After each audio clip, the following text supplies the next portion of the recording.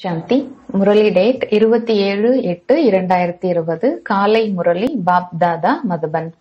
பாபா கூறுகின்றார் இனிமையான குழந்தைகளே இந்த விகார உலகத்தை சிவாலயமாக மாற்றுவதற்காக பாபா வந்திருக்கின்றார்.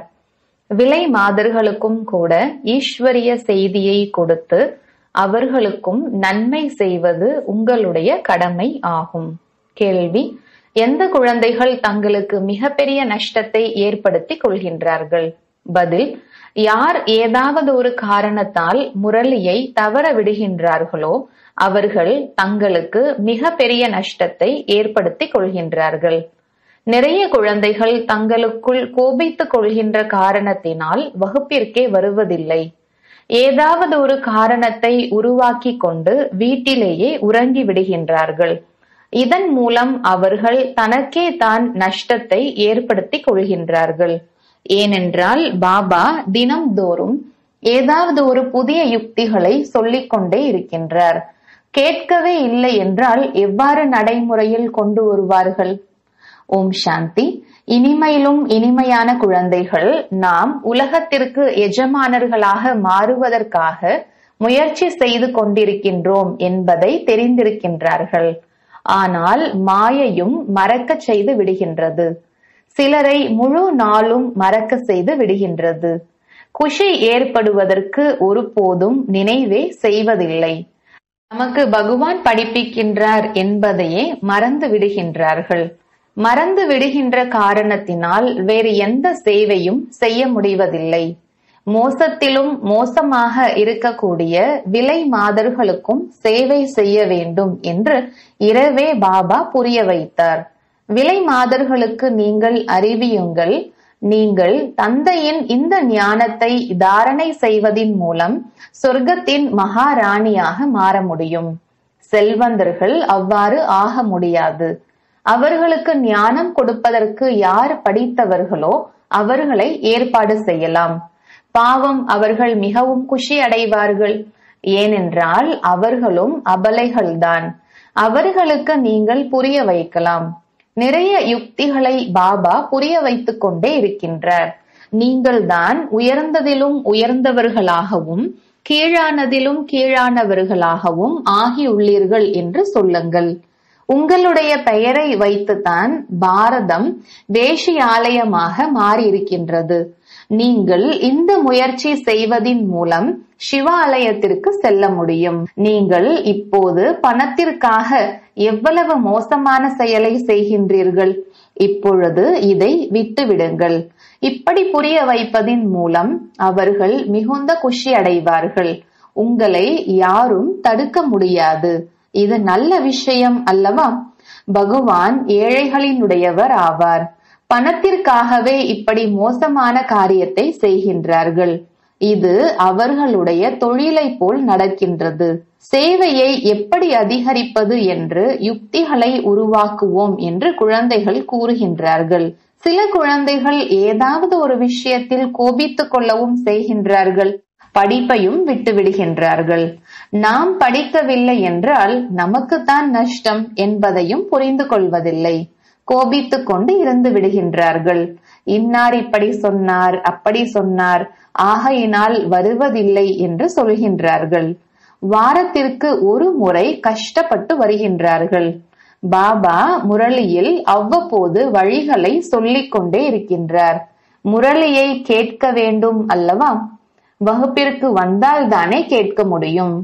ஏதாவது ஒரு காரணம் சொல்லி சாக்கு போக்கு சொல்லி உறங்கிவிடக்கூடியவர்கள் நிறைய பேர். நல்லது இன்றைக்கு செல்லவில்லை. பாபா அப்படிப்பட்ட நல்ல நல்ல பாயிண்ட்டுகளை கூறுகின்றார். சேவை செய்தால் உயர்ந்த பதவி கூட அடைவார்கள். இது படிப்பாகும். பனாரஸ் இந்து பல்கலைக்கழகம் போன்றவற்றில் சாஸ்திரங்கள் நிறைய படிக்கின்றார்கள். வேறு எந்த வேலையும் இல்லை என்றால் சாஸ்திரங்களை மனனம் செய்து கொண்டு சத்சங்கத்தை ஆரம்பித்து விடுகின்றார்கள். அதில் குறிக்கோள் எதுவுமே இல்லை. இந்த படிப்பின் மூலம் அனைவருடைய துக்கமும் விலகி போகின்றது. எனவே குழந்தைகளாகிய நீங்கள் இப்படிப்பட்ட மோசமானவர்களுக்கும் சேவை செய்ய வேண்டும். இங்கே இப்படிப்பட்டவர்கள் வருவதை செல்வந்தர்கள் பார்த்தார்கள் என்றால் அவர்களுக்கு வருவதற்கு மனம் வராது. தேக அபிமானம் இருக்கின்றது தானே அவர்களுக்கு வெட்கம் வரும். நல்லது. அவர்களுக்கு தனி பள்ளியை திறந்து விடுங்கள். அந்த படிப்பு ஒரு பைசாவிற்கு ஒப்பான சரீர நிர்வாகத்திற்கான படிப்பு. இது இருபத்தி ஒரு பிறவிகளுக்கான படிப்பு. எவ்வளவு பேருக்கு நன்மை கிடைக்கும்? குறிப்பாக தாய்மார்கள் பாபா வீட்டில் கீதா பாடசாலை திறக்கலாமா என்று கேட்கின்றார்கள். அவர்களுக்கு ஈஸ்வரிய சேவையின் மீது ஆர்வம் இருக்கின்றது. ஆண்களோ இங்கே அங்கே என்று கிளப்புகளுக்கு சுற்றி கொண்டிருக்கின்றார்கள். செல்வந்தர்களுக்கு இதுவே சொர்க்கமாகும். எவ்வளவு ஃபேஷன் போன்றவைகளை செய்து கொண்டிருக்கின்றார்கள். ஆனால் தேவதைகளுக்கு இயற்கையான அழகு எப்படி இருக்கின்றது பாருங்கள். எவ்வளவு வித்தியாசம் இருக்கின்றது. அதுபோல் இங்கே உங்களுக்கு உண்மை சொல்லிக் கொடுக்கப்படுகின்றது. எனும் போது எவ்வளவு குறைவானவர்கள் வருகின்றார்கள். அதுவும் ஏழை குழந்தைகள் தான் வருகின்றார்கள். ஆனால் அந்த பக்கம் உடனே சென்று விடுகின்றார்கள். அங்கேயும் அலங்காரம் போன்றவைகளை செய்து கொண்டு செல்கின்றார்கள். குருமார்கள் நிச்சயம் கூட செய்து வைக்கிறார்கள். இங்கே யாருக்காவது நிச்சயம் செய்து வைக்கப்படுகின்றது என்றாலும் கூட காப்பாற்றுவதற்காகவே தான் செய்யப்படுகின்றது. காம சிதையில் ஏறுவதிலிருந்து காப்பாற்றப்படட்டும். ஞான சிதையில் அமர்ந்து கோடி மடங்கு பாக்கியசாலியாக மாறிவிடட்டும் என்பதற்காக தான்.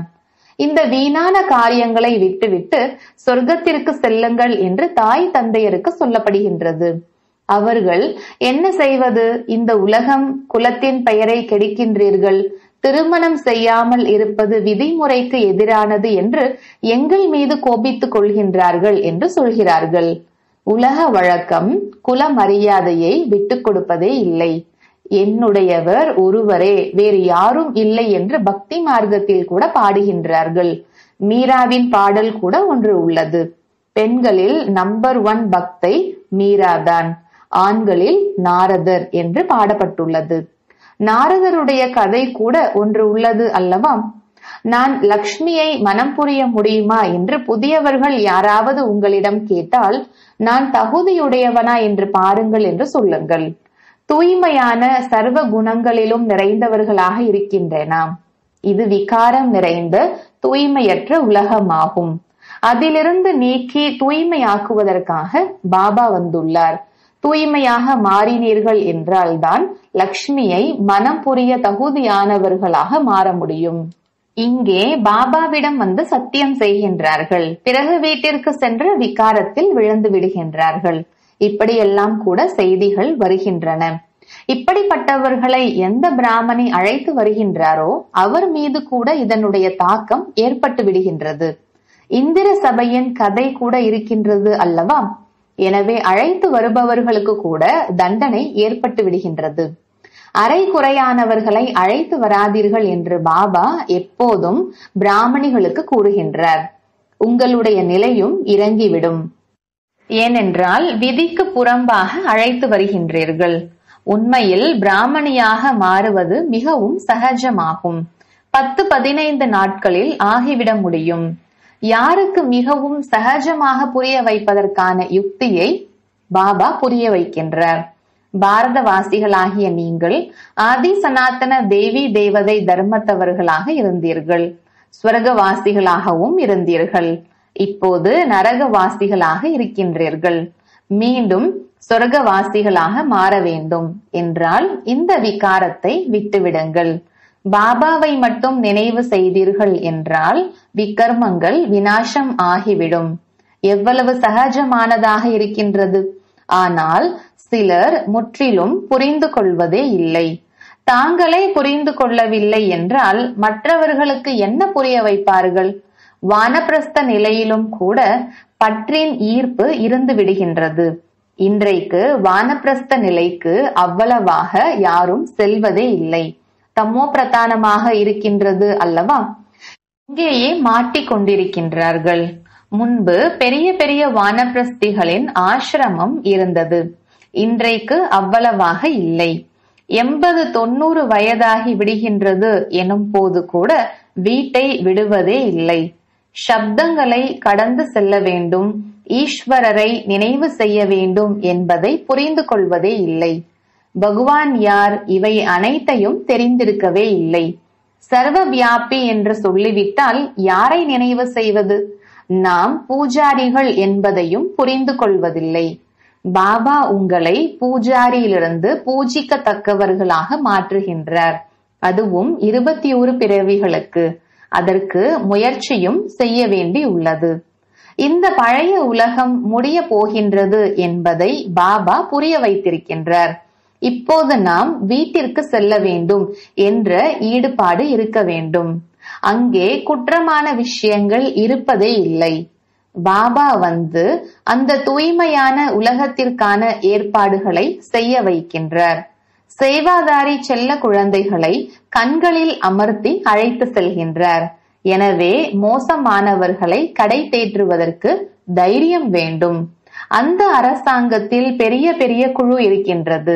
படித்தவர்கள் டிப்டாப்பாக செல்கின்றார்கள்.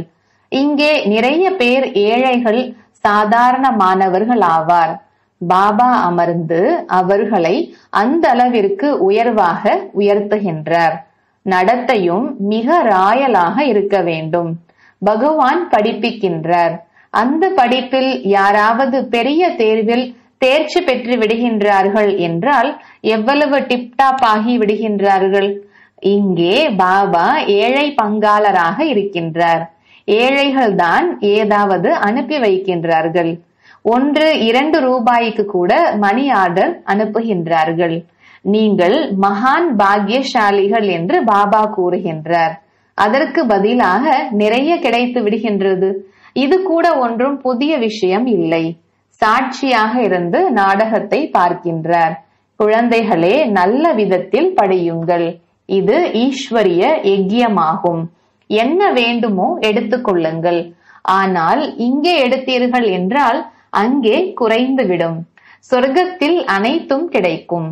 பாபாவிற்கு சேவையில் மிகுந்த சுறுசுறுப்பான குழந்தைகள் வேண்டும். சந்தேஷியை போல் மோகினியை போல் சேவையில் ஊக்கம் உடையவர்களாக இருக்க வேண்டும். உங்களுடைய பெயர் புகழ் பெற்றுவிடும். பிறகு உங்களுக்கு அதிக மரியாதை அளிப்பார்கள். பாபா அனைத்து வழிகளையும் கொடுத்து கொண்டே இருக்கின்றார். குழந்தைகளுக்கு இங்கே எவ்வளவு நேரம் கிடைக்கின்றதோ நினைவில் இருங்கள் என்று பாபா கூறுகின்றார்.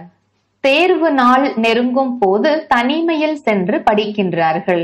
தனியாக டீச்சரை கூட அமர்த்தி கொள்கின்றார்கள். நம்மிடம் நிறைய டீச்சர்கள் இருக்கின்றார்கள். படிப்பதற்கு ஆர்வம் மட்டும் வேண்டும். பாபா மிகவும் சகஜமாக புரிய வைக்கின்றார். தங்களை ஆத்மா என்று மட்டும் நிச்சயம் செய்து கொள்ளுங்கள். இந்த ஷரீரம் அழியக்கூடியதாகும். ஆத்மாக்களாகிய நீங்கள் அழிவற்றவர்கள். இந்த ஞானம் ஒரு முறைதான் கிடைக்கின்றது. பிறகு சத்தியுகத்திலிருந்து கலியுக கடைசி வரை யாருக்கும் கிடைப்பதே இல்லை. உங்களுக்குத்தான் கிடைக்கின்றது. நான் ஆத்மா என்பதை உறுதியாக நிச்சயம் செய்து கொள்ளுங்கள். தந்தையிடமிருந்து நமக்கு ஆஸ்தி கிடைக்கின்றது.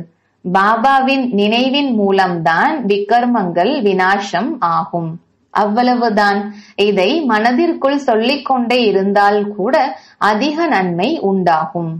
ஆனால் சார்ட் வைப்பதே இல்லை. எழுதி எழுதி கலைப்படைந்து விடுகின்றார்கள். பாபா மிகவும் சுலபமாக்கி புரிய வைக்கின்றார். ஆத்மாவாகிய நான் சத்தோ பிரதானமாக இருந்தேன். இப்போது தமோ பிரதானமாக மாறியுள்ளேன். இப்போது பாபா கூறுகின்றார் என்னை நினைவு செய்தீர்கள் என்றால் சத்தோ பிரதானமாக மாறிவிடுவீர்கள். எவ்வளவு சகஜமாக இருக்கின்றது? இருந்தாலும் குழந்தைகள் மறந்து விடுகின்றார்கள். எவ்வளவு நேரம் அமருகின்றீர்களோ தங்களை ஆத்மா என்று புரிந்து கொள்ளுங்கள். ஆத்மாவாகிய நான் பாபாவின் குழந்தையாக இருக்கின்றேன். பாபாவை நினைவு செய்வதன் மூலம் சொர்க்கத்தின் ராஜ்யம் கிடைக்கும். பாபாவை நினைவு செய்வதன் மூலம் அரை கல்பத்தின் பாவங்கள் பஸ்பமாகிவிடும். எவ்வளவு சகஜமான யுக்தியை கூறுகின்றார். குழந்தைகள் அனைவரும் கேட்டுக்கொண்டிருக்கின்றார்கள். இந்த பாபா அவரை கூட பயிற்சி செய்கின்றார். ஆகையினால்தான் கற்றுக் கொடுக்கின்றார் அல்லவா? நான் பாபாவினுடைய ரதமாக இருக்கின்றேன். பாபா எனக்கு ஊட்டுகின்றார். குழந்தைகளாகிய நீங்களும் கூட அவ்வாறே புரிந்து கொள்ளுங்கள். ஷூ பாபாவை நினைத்து கொண்டே இருந்தால் எவ்வளவு நன்மை ஏற்பட்டுவிடும். ஆனால் மறந்து விடுகின்றார்கள். மிகவும் சகஜமானதுதான். வியாபாரத்தில் வாடிக்கையாளர்கள் யாரும் இல்லை என்றால் நினைவில் அமர்ந்து விடுங்கள். நான் ஆத்மா பாபாவை நினைவு செய்ய வேண்டும். நோய்வாய்ப்பட்டிருந்தாலும் கூட நினைவு செய்யலாம். பந்தனத்தில் இருப்பவர்களாக இருந்தால் அங்கேயே அமர்ந்து கொண்டே நினைவு செய்து கொண்டே இருந்தால் பத்து இருபது வருடங்கள் இருப்பவர்களை விடவும் உயர்ந்த பதவியை அடையலாம். நல்லது. இனிமையிலும் இனிமையான காணாமல் போய் கண்டெடுக்கப்பட்ட செல்லமான குழந்தைகளுக்கு தாயும் தந்தையுமான பாப் தாதாவின் அன்பு நினைவுகளும் காலை வணக்கமும்.